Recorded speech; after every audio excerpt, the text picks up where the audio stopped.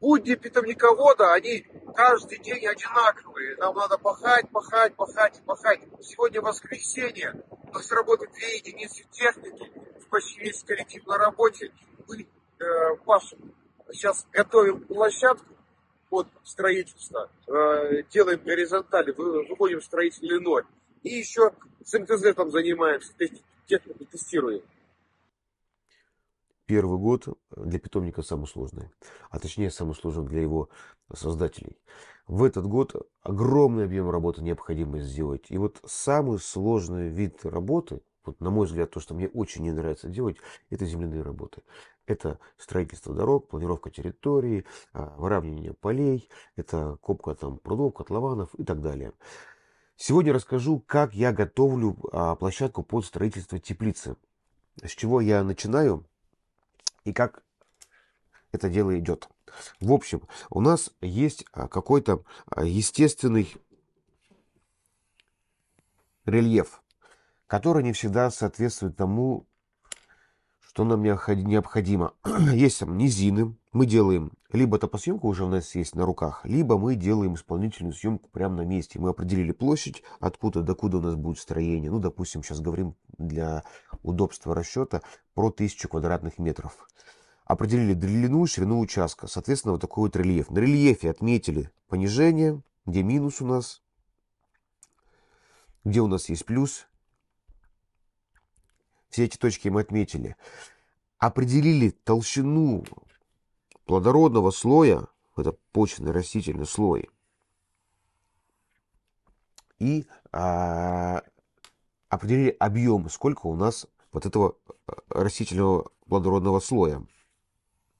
Далее, что я делаю? Я прекрасно понимаю, что мое строение должно находиться на самой верхней отметке для того, чтобы э, вода естественным образом стекала и уходила э, по, по, по, по грунту, допустим, там в поля, в какую-то канаву и еще куда-нибудь. Поэтому я планирую, что объект строительства будет выше, чем основной грунт,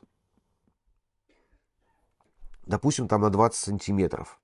Ну, к примеру, я для себя отметил, что я хочу прийти вот к этой красной линии.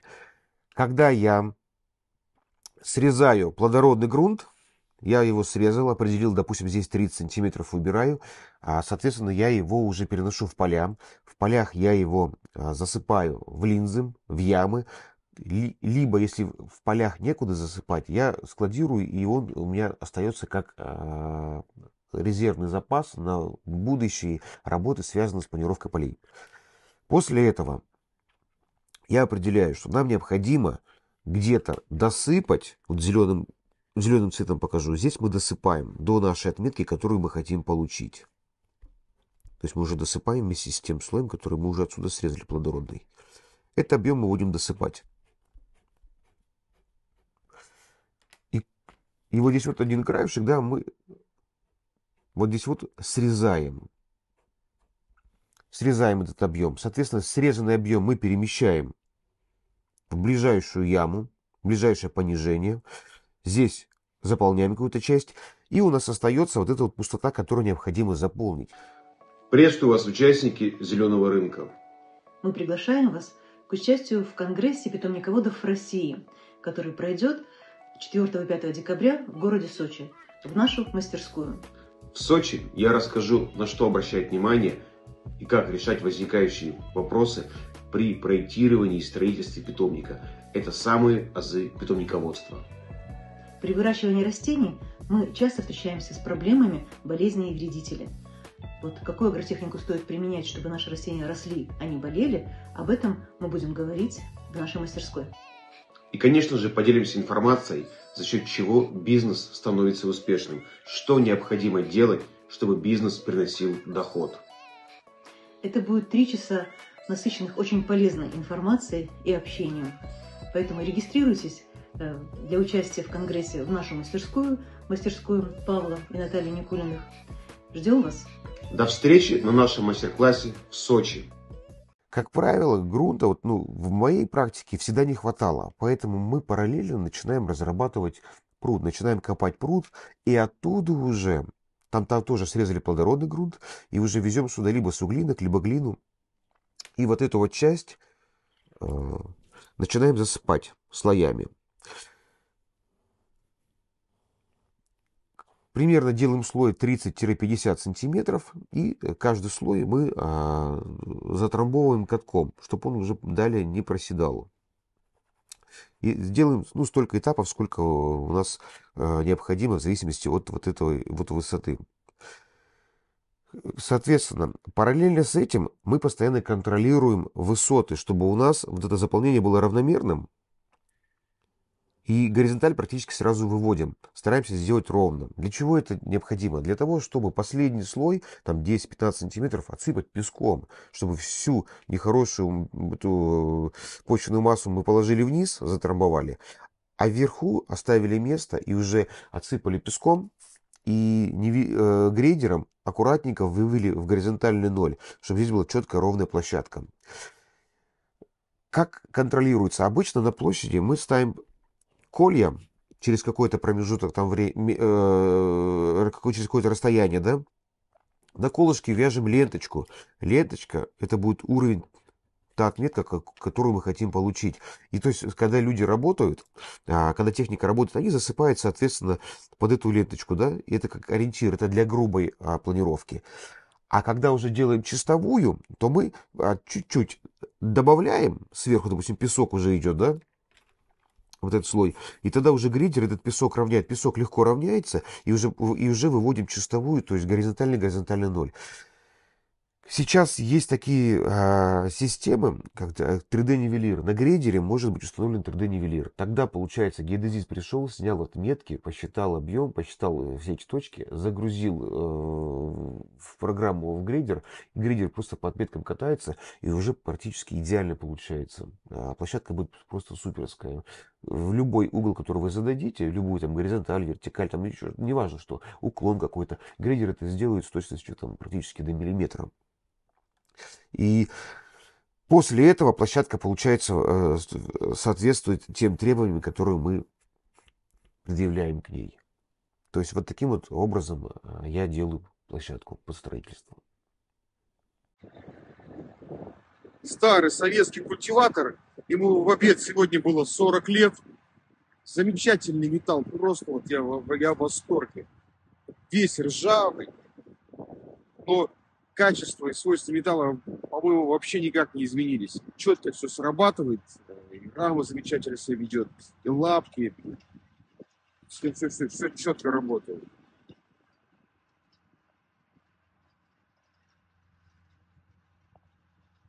Стойки тоже супер все. Там, конечно, были сломаны, сейчас они вылезли, но тем не менее они, все остальные, все работает. Вот что значит качество на века.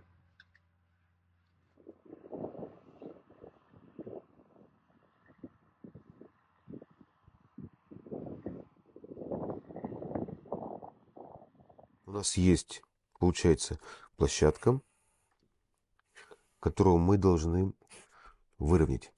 То есть сделать здесь горизонтальную поверхность. А как мы делаем? Ну вот, конечно, все по-разному делают строители, но вот э, с последней бригадой, с которой я работал, они попросили сделать через каждые 25 метров, во-первых, э, обозначить пикеты, поставить на углах, чтобы их было видно. Потом Через каждые 25 метров мы поставили дополнительные колья. Ну, вот так вот нарисую приблизительно, да, что как будто вот так мы сделали. Мы периметр обозначили. Здесь 50, допустим, на 75. Периметр обозначили кольями. А, и поставили еще несколько кольев внутри. И обозначили уровень, который нужно нам сделать ленточками на этих колях. То есть уже и перед тем, э, как начинать работу, уже было э, либо ленточка, либо было написано на столбе, допустим, там минус там 0,15, если там надо, было резать. Здесь, допустим, там минус там 0,25, если необходимо резать. А если висит ленточка, то, соответственно, до этой ленточки нужно досыпать. Это еще вот э, пока не сняли плодородный грунт. И так вот сделано все, все строительное поле. Соответственно, а бульдозер начинает ходить если режем бульдозером. И у, у них важное требование, чтобы все-таки вот эти колышки были в одной линии, чтобы ходы техники не, не сбивали эти колья. Они, соответственно, режут, либо досыпают по этим отметкам. Вот сначала убрали плодородку, где-то срезали, где-то просто сняли плодородку, где-то а, понятно, будет после плодородки еще убираться какое-то количество грунта, да, соответственно, его будет перемещать в ту сторону, где нужно досыпать. И, соответственно, после э, снятия плодородного слоя, после первичной планировки, когда срезаем бугры, оставшуюся часть определяем объем, который необходимо заполнить, и от, сюда уже довозят машинами, высыпают кузова, а, специально рассчитывается, через, в каком порядке, через какой шаг рассыпать, чтобы меньше э, возиться с планировкой. Далее планируется, и это будет как бы грубая работа. После этого опять работает а, специалист, нивелиром проходит, и заново отмечает вот эти вот колья, отметки дает, потому что в процессе работы от вибрации, движения они могут где-то там зацепить, э, надломить, потеряться, могут восстанавливает их, и э, уже Потом уже отсыпается песком, да, и в чистовую все это выводится по новым отметкам. И, соответственно, после работы опять а, контролируется каждая из этих точек. Ну и где-то внутри тоже проходит, контролирует, чтобы более ровная площадка была. Если потом что-то остается чуть-чуть, там какие-то пятнышки внутри, да, ну их уже локально там подлечивают, доводят до э, чистой горизонтали. Завершен еще один этап по строительству питомника. Мы э, закончили планировку территории. На все про все ушло четверо суток. Сегодня с утра мы эту работу закончили. Далее у нас будет работать каток. Те участки на площадке, где максимально много было насыпано грунтам, будут протрамбованы. И потом пойдет э, грейдер с 3D-нивелиром, который подготовит для нас чистую нулевую горизонталь. Это будет наш строительный ноль. Земляные работы они в питомике, а, в начале создания питомика представлены в большом объеме.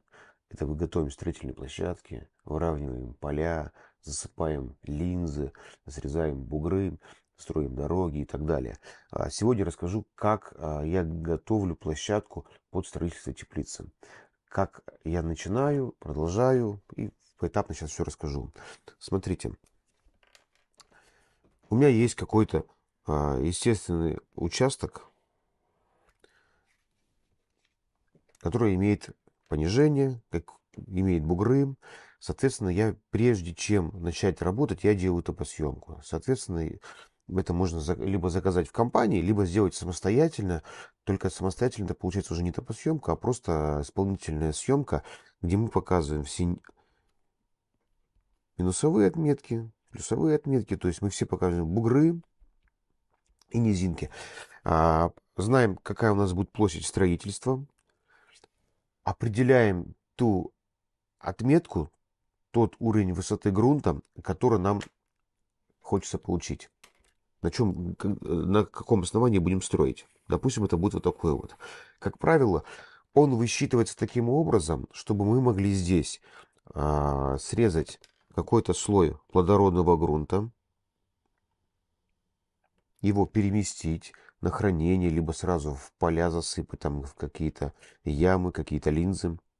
И, соответственно, то, что останется, чтобы разровнять, здесь получается, где-то мы подсыпаем, а где-то мы, наоборот, будем срезать.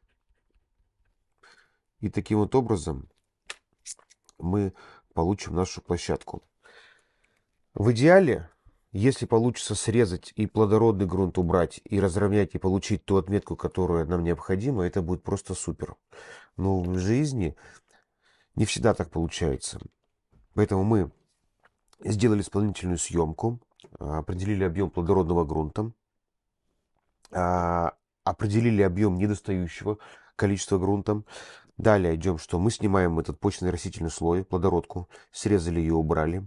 Далее разровняли по нашим отметкам или близким к ним отметки подобрали, разровняли, то есть горизонталь уже сделали. После этого трамбанули катком, чтобы грунт осел. Далее завозим грунт. Ну, как правило, я делаю так. Я копаю просто пруд, либо э, э, какой-то, допустим, там разрабатываю котлованчик, который в будущем будет э, выполнять функцию пруда. И оттуда перевожу грунт и насыпаю здесь тот уровень, который мне нужен. Допустим, если мы разровняли и у нас не хватило, то я определяю объем, что мне не хватает, допустим, там 15 сантиметров на площадь, допустим, 1000 квадратных метров. Соответственно, а, вот этот вот объем, там 150 кубов, я сюда довожу и тоненьким слоем там рассыпаю, да, равняя там грейдером или бульдозером, что есть под рукой. После этого а, снимая опять отметки, если требуется корректировка, корректируем, либо досыпаем, либо срезаем. То есть работает уже грейдер. После этого трамбую катком опять, чтобы это основание а, потом в будущем не проседало. Далее опять снимаю отметки нивелиром. Через уже там, допустим, шаг там 20-25 метров я прохожу, все вот эти вот а, точки намечаю, забиваю колышек и уже делаю чистовую отметку, а, чистовую э, работу с грейдером, с 3D-нивелиром, который позволит мне сделать идеально ровное полотно. И площадка практически готова. Сегодня я вам расскажу про ветроуказатели. Для нас, питомниководов, очень важно знать и понимать, откуда и когда дует ветер. За свою питомниководческую деятельность я сделал большое количество разных ветроуказателей. Но сегодня расскажу про самый простой, эффективный и дешевый способ узнать, откуда дует ветер. Берем шест длиной 2-3 метра, сферами введем отверстие. В это отверстие вставляем пластиковую трубочку, которая будет являться направляющей для ветроуказателя. В эту трубочку, которая уже вставлена в шест, заливаем тормозную жидкость для того, чтобы была минимальная смазка и в то же время не попадала дождевая вода в это отверстие, чтобы зимой там она не замерзла. Далее изготавливаем под такую вот детальку. С одной стороны изгиб под 90 градусов, с другой стороны ушком, которое привязываем разноцветные ленточки от тортов. Эту детальку вставляем в отверстие, и получается вот такая вот конструкция. Еще один важный момент. Сам шест оборачиваем скотчем для того, чтобы ленточка не цеплялась за заусенцы а, и волокна древесины. И устанавливаем данную конструкцию на высоту примерно 3-3,5 метра. При малейшем дуновении ветра, даже если ленточки шевелиться не будут, то стрелка все равно покажет, откуда и куда дует ветер он очень чувствителен к, к небольшой скорости ветра. И даже в штиль мы понимаем, что куда движется воздух. Он разворачивается по направлению движения воздуха.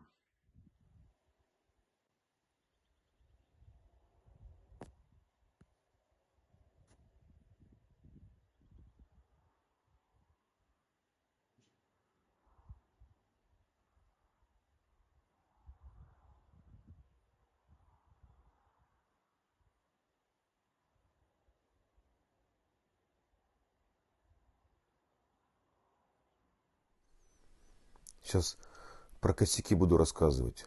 Любимая тема, все ждут. Косяков много, скажу честно, очень много. В первую очередь э, косяки связаны с организацией. Когда рассчитываешь, что вот я там через неделю начну что-то делать, э, привлеку кого-то, так вот привлечь кого-то не получается через неделю. Потому что, как правило, все серьезные специалисты, связанные с проектированием, связанные с топосъемкой, с геодезией, с геологией, связанные с арендой механизмов, а, с арендой какого-то оборудования, там, как правило, идет очередь. И очередь и на специалистов, и очередь на оборудование. И вот эти моменты нужно заранее просчитывать, продумывать, определять сроки, становиться в эту очередь, записываться и ждать, когда тебе эту технику дадут. Грейдер не мог э, взять просто грейдер. Две недели ждал грейдер, когда освободится. Ну, все заняты, просто все заняты. Вот звонишь, грейдер есть, да, есть. Механизатор на грейдере есть, есть. Но грейдеры заняты. И ты ждешь, пока вот он где-то освободится, а как правило, там, где идут стройки, там не могут точных сроков сказать. И грейдер вроде как должен освободиться через неделю. Ты думаешь, ладно, подождуйте 5-6 дней. А в итоге получается, что грейдер а, не освободился, потому что тот, кто его взял в аренду, э, решил продлить еще на три дня, и ты еще три дня ждешь. И, и здесь вот такой вот момент, вот одно другое держит, одно за другое цепляется, и процесс тормозится.